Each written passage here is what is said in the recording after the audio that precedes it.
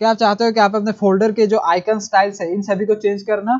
इस वीडियो में मैं आपको ऐसा ट्रिक बताने जा रहा हूँ, जिससे कि आप जो ये फोल्डर आइकन्स के स्टाइल्स है, इन सभी को आप चेंज कर सकते हो और अपने हिसाब से कस्टमाइज कर सकते हो। So hello guys welcome to my YouTube channel इस ट्रिक को करने के लिए आपको सबसे पहले पीएनजी फ़ोटोज़ की ज़रूरत होगी। आप जेपीजी फ़ोटोज़ को भी यूज़ कर सकते हो, पर पीएनजी फ़ोटो ज़्यादा बेहतर होगा। आइकन्स का लुक देने के लिए आपको सबसे पहले पीएनजी फ़ोटोज़ को थोड़ा सा एडिट करना पड़ेगा। इन सभी पीएनजी फ़ोटोज़ को आपको आइकन्स में कन्वर्ट करना है।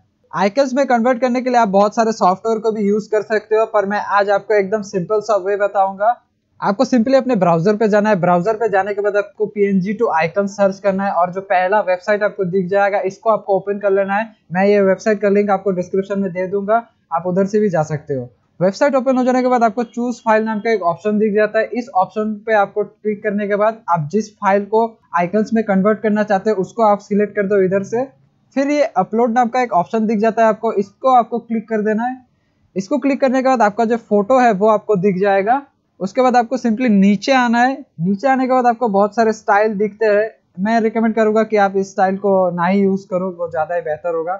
फिर आपको ये जो कस्टम साइज़ है, इनमें आना है। कस्टम साइज़ में आने के बाद आपको 256 बाई 256 में टिक कर देना है। इस पे टिक करने के बाद आपको सिंपली एक कन्वर्ट आइकन नाम का एक ऑप्शन दिख जाता है। इसको आपको टैप कर देना है। इसको क्लिक करने के बाद आपको डाउनलोड आइकन नाम का एक ऑप्शन दिख जाता है। ऐसे करके आपका जितने भी पीएनजी फाइल्स है, उन सभी को आप आइकन्स में कन्वर्ट कर लेना। है पीएनजी फ़ोटोज़ को आइकन्स में कन्वर्ट करने के बाद ये सभी आइकन्स को एक फोल्डर पे सेव करके रखो। ये बहुत इंपॉर्टेंट है। मैं बाद में बताता हूँ कि ये क्यों इंपॉर्टेंट है। इसके बाद आप जिस फोल्डर के आइकन को चेंज करना चाहते हैं, उस फोल्डर पे चले जाओ।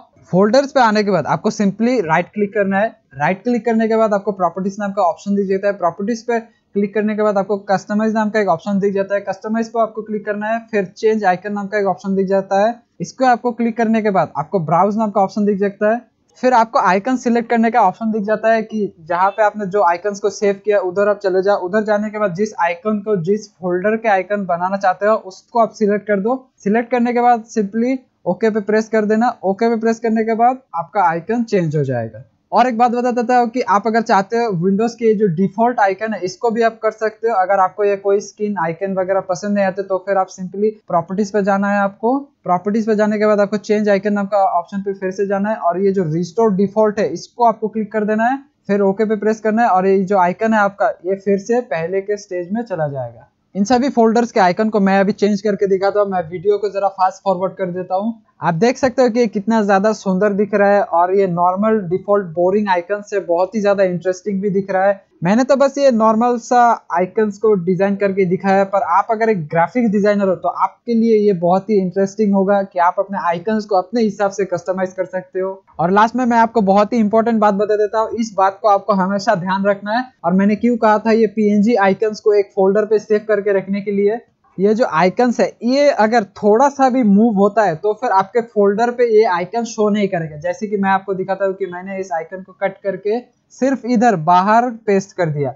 फिर आप अगर इस फोल्डर पे जाके देखोगे तो वो आइकन स्टाइल आपको नहीं दिखेगा। फिर आपको फिर से वही स्टेप दोहराना पड़ेगा तो ये बहुत ज़्यादा हेडेक हो जाएगा आपके लिए। आपको सिंपली ये करना है कि ये जो फोल्डर है आइकन का फोल्डर ये आपके कंप्यूटर पे ऐसे एक जगह पे सेव कर देना है जिधर आप इस फ़ाइल को कभी मूव ना करो। अगर थोड़ा सा भी मूव होता है तो फिर आपके ये सारे आइकन उड़ जाएँगे। तो फिर आपको फिर से वही स्टेप दोबारा करना पड़ेगा और ये आपके लिए बहुत ज़्यादा मुश्किल भी हो सकता है। तो यार बस, आज के लिए इतना ही। वीडियो कैसा लगा वो मुझे नीचे कमेंट में ज़रूर बता के जाना। और आगे आप ऐसे नए ट्रिक्स देखना चाहते हो तो वो भी आप बताओ मुझे कमेंट में। और वीडियो कैसा लगा वो भी मुझे नीचे कमेंट में ज़रूर बता के जाना। और चैनल पे नए होना यार सब्सक्राइब ज़रूर करके जाना। Thank you so much